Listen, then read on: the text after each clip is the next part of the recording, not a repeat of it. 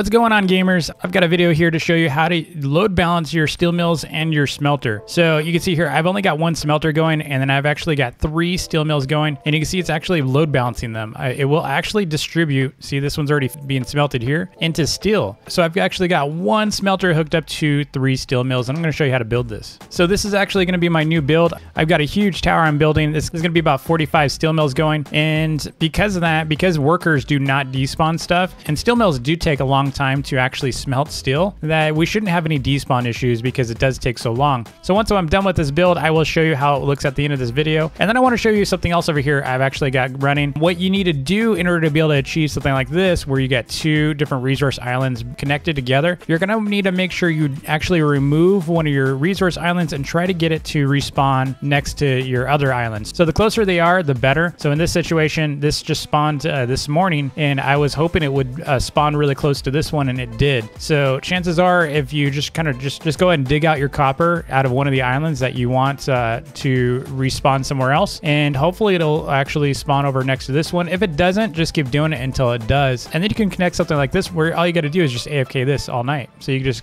just auto click that. It's actually a really, really cool method to be able to connect these. But we're going to go ahead and go back to the steel farm over here and I'm going to show you how to build this yourself. Now, one of the things you will need some materials you need, you're going to need some leaf clippers or some hedges. So you're going to need some maple hedges or even any kind of hedge will work. You're going to need some maple trees to cut their leaves because you're going to need 10 in order to make one. And then you're going to need a floral workbench like this, this little guy. So you're going to need like this. So make sure you're not using these types, like these little maple bushes. You're going to need a hedge. You want to use the hedge. I think you can also use a regular um, hedge if you want. So if you don't have maple, that's okay. But you can see here, I can make four of these so far. So we're going to need one of these for every single level or layer that we do. So let's go ahead and head over here and I'm going to go and show you how to do this build because it's not it's not that hard. You do notice there's something here. I'm just going to show you the bottom of this. This is where they're all getting fed into, right? So it's basically a three-prong approach here. And then you can see how these are getting fed down here. It's actually been working really well. Basically, it's looking like that. And then it just goes straight up. It, it works really well. I'm surprised it works so well. I'm going to make another build over here so we can get this started. So we're going to go about 11 up just to make sure we're safe. We're going to go about 11 up, 9, 10, 11. That looks good. So again, 11 up. We're going to do like a 3 by 3 right here. And if you fall like I did, you could do like a little temporary ladder here. And then if you have an obby flag, even better, grab one of those, plop that out. So if you do this, and if you fall, it'll just save you so much time. Okay, so we're to make this 3 back, and you're to do something like this. And this is to go up.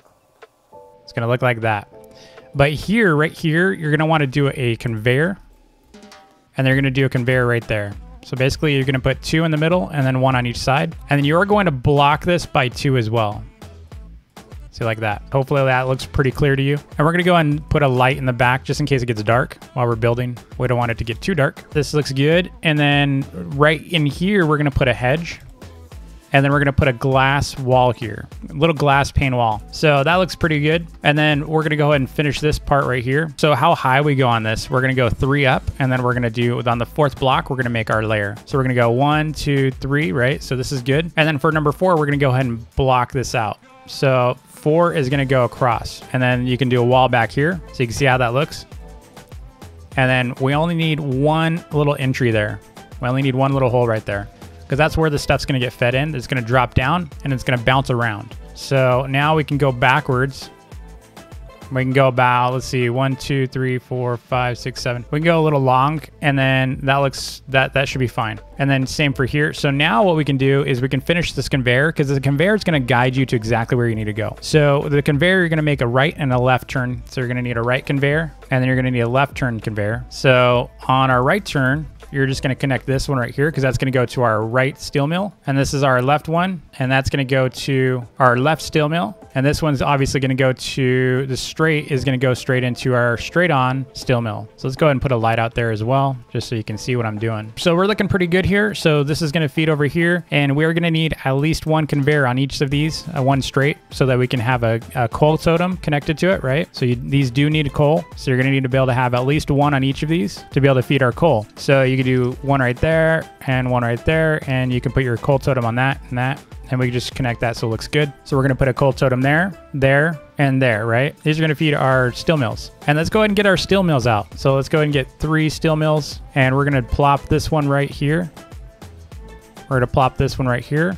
And this one's just gonna basically tell you exactly where it needs to go, which is right there. That's as close as it can get. So that means you're gonna need to put another conveyor right there. And the reason is, is I think it's just too close to this. So that looks good. So that is our three steel mills. We're just missing the coal. I'm gonna go and put the coal on now so we don't forget. I don't want you forgetting. You're gonna be like, DV, it doesn't work. It's like, oh yeah, because you forgot to put the coal. So there's one right there. There's gonna be one right there and one right there. Coal totems, you can't put it on corners. You got to put it on straightaways. Otherwise it won't work. So that looks good. Now we can go ahead and start on our, our smelter part. So we're gonna go up to our smelter area. And the way this is going to work is got to turn it. So the, the problem is with the way the iron comes out of the actual smelter, the iron doesn't come out correctly. So the iron comes out at like a weird little angle. So if you didn't do this kind of load balancer, it would actually always go to the same spot 100% of the time. It would always go to the like one of the one side. I think it's going to be, I think it would only go to this side. And that's a big problem, right? Because we're trying to load balance here. We're trying to balance one smelter to all three of these steel mills because these steel mills take so long, right? The steel mills take so long long to process one single iron into a steel. And so we don't really need a whole lot of iron. So if you were to do my old build, which, you know, pretty much had one steel mill to each smelter, it's just really inefficient. Uh, it was a really bad design on my part, but I didn't really have any choices because we didn't have a really good randomizer or load balancer. Now I've got a load balancer that works really, really well. And these steel mills are so cheap compared to smelters that you can have so many of them. So we don't really care about the number of steel mills that we have. We care about the number of smelters that we're using because you can actually end up with so much more still if you're if you have less smelters because the smelters are just causing so much despawn if you have too many of them. So we're gonna go ahead and start this up. We're gonna go ahead and put here. We're gonna we're gonna work backwards. Okay. So we're gonna start with a right turn. See the right turn. Then we're gonna put another right turn on it like that, and we need a left turn here like that, and then we can connect the smelter directly to this.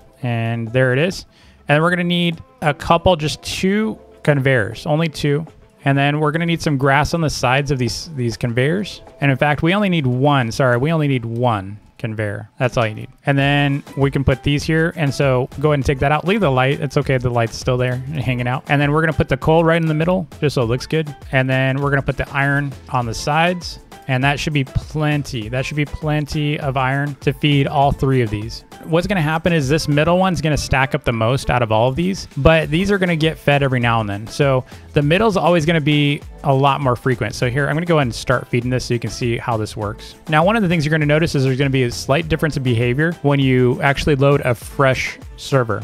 So you can see there's uh, the right side and the middle side. See how the middle is getting two? That's to be a very common thing you're to see. The middle's always to get the most. So that's why you don't want to have too much iron. But you see how fast the iron comes out? So this one's already got two pending and it doesn't need any more. We're hoping that this right steel mill actually gets fed pretty soon. And if it doesn't, just reload your VIP server. Just reload into your VIP server and it'll start working again. Yeah, there we go. See that? It just fed it. So it's working on both. Now, one of the things that I did notice though, I will tell you right now, if you're building and it just doesn't seem to be working, just like I said, reload the VIP server. But one thing I discovered is the behavior differences for these conveyors does change depending on the timing of your placement. So it looks like these are on individual speeds. So if I were to place this and then place this like a second or two seconds later, or even three seconds later, the timing might be different. So behavior actually changed. Like at one point, it wasn't working for me anymore. Like I actually just like did something like this and then I replaced this and then suddenly it broke. That's all I did. And suddenly my my balancer broke. And I didn't understand why it broke because I was like, it was working just a second ago, right? I was really frustrated that it wasn't working anymore. And then I discovered, I just replaced it again, and then I discovered it started working again. So I discovered that these timings might actually change the behavior of your drops. And then I tested anytime you go to a fresh server, right? It doesn't, it, everything's on the same timer. And that's what you want to test. That's a, that's the true test to see if it's going to continue working after you reload the game. And it did continue to work. So that's great. You see this, this is all good. This is working great you got a little bit of, you know, you got some stuff being fed. It's all just dropping to the nether at this point. And I'm to go ahead and put this here, right? So we're to have to, we're to have to take out this light just for a bit. And then we're to do something like this little basketball hoop. And then we're to do the same thing over here like that. There we go. Another basketball hoop. So we got the hoops and we need a back hoop as well. And that's another hoop, right? So we got our hoops. Okay. So at the bottom here, what you're to do is you're to feed this down, right? So we're to need to drop down. So this is where we want to put our chest. So I'm going to basically set it up so that industrial chest is actually right here. All right, so now I'm going to put my industrial chest right here. And we're gonna put a conveyor there because I don't want it bouncing into it. So if you did this directly onto it, stuff would get stuck on the top of the chest. So you do need a conveyor in front of it like that. And now we can go and start stacking up. So we can do something like this. And now we need some stairs. So we're gonna do one there, one there. And you could use grass to kind of step them up like that. And we can go as far as we need to. So that's about all we need right there. See that? That's all we needed. Okay, so we do that, that, that. So we went too high, but that's okay. So you could just do something like that. Same for the other side. And then just go straight up on that. There we go. That looks good. So we can get rid of the dirt now. All right, that's good. All right, but we're gonna go ahead and feed this down. And then what we're gonna do is this side actually needs it as well. So here we go. So here's how this is gonna work. We're gonna go ahead and back this up. It goes exactly right there. So we can just feed that down, put our stairs, and there we go. So now we need to box this in. So the way I'm gonna do is I'm only gonna do what we need to do. So first I'm, I'm gonna start on the sides of the stairs just to cover the sides. We're gonna start there and then we're gonna do another layer right after. Let's fix this over here. There we go. Now let's get rid of that dirt while we're at it. Because we don't wanna waste blocks. We don't want unnecessary blocks whenever we can help it because that block limit, you just, and it takes forever to load more blocks. So we like to clear any blocks whenever we can that aren't used. Okay, so this is good. Let's go this side, to that side. So this load balancer took me forever to find, by the way. I experimented, experimented, experimented, experimented until I just found it. And I honestly just, I'm so glad to finally find it because I just, I man, I, I tried everything. I tried so many things. I tried so many objects because at first I didn't use that height for the hedge and it wasn't working. So you needed that specific height for the hedge to work. And then I noticed by doing it reverse, it worked really, really well. By reversing the direction, I don't know, I got lucky on it. So let's make sure this is sealed. All right, that looks good. It's already catching it. Okay, so that's that's pretty much it. That's it in a nutshell. So if you want to actually layer this, it is pretty easy as long as you have an obby flag. Otherwise, you're to be falling a lot. But basically, you're going to do the same thing, right? You're to have to elevate this stuff. So this is to have to get piped up. So this part's to have to get piped all the way up like that. And you'll need to keep going up. And if you want to save blocks, just do a plus sign. So you just do like a plus pipe instead. That'll save you a lot of blocks. Like you don't need all this. Like you're going to optimize aspects of the farm for sure. I only do squares because it's easier for people to follow. But you do something like that as well if you really want to. And you just keep going up and you need a layer again, you know? So it's pretty much the same thing. It's stacked. So I'll show you an example of what it looks like over here into the darkness. So you can see this is the first layer over here.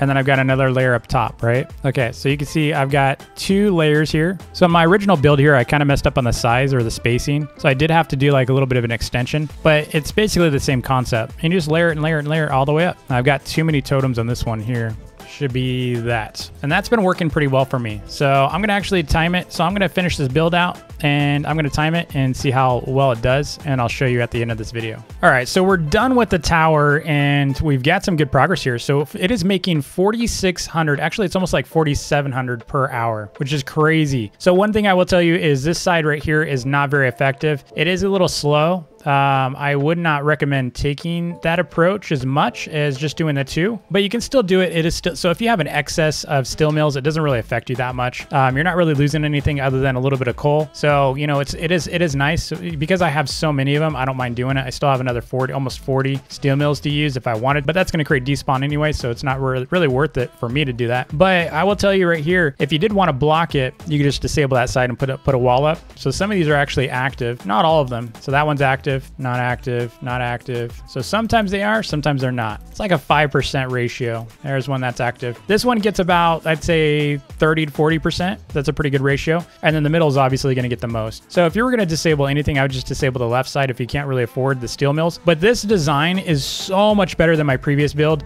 That's why I'm posting it because this does not use one smelter per steel mill. This actually uses one smelter per three steel mills. So every three steel mills it requires one smelter, which is really nice, right? So I would say go ahead and go with this design. Maybe disable the left side if you can't afford the steel mills. Um, that would require only 30 steel mills instead of the 45 that I'm using, and it'll only require 15 smelters to get that number. So this is hooked up to an auto steel press. So it, it's going to automatically make steel plates. And then over here, I'm actually going to hook up yet another steel press. So I'm going to have a steel press that's actually making the bolts on this side. And the way I've set this up, I'll show you a little peek inside, is because it's a double space. See how I just did a little offset and you can offset it by just making sure that one of them is a little higher than the other. So you can make two spots at the bottom. And then I just kind of put a little bit of uh, glass panes down here to slow down the speed. And that way you can actually uh, make two still presses automatically. The same still mill is actually going to do two different types of parts for you all at once and it's just going to store in there. So I've made another three still plates right then. So over here, I'm actually going to be making, I just need to make another still press, which is going to take a little bit of parts. And then I'm going to hook that up. But you can see here, I've got so many still presses going and it's a good design and it works. So hopefully you're going to be able to follow along and let me know how your still mill goes. And uh, if you like the video, hit that like button and smash the subscribe button if you are new. And hopefully we'll have some news here about this upcoming update. Maybe it's factory part two. I can't wait for it. So I'll see y'all next time.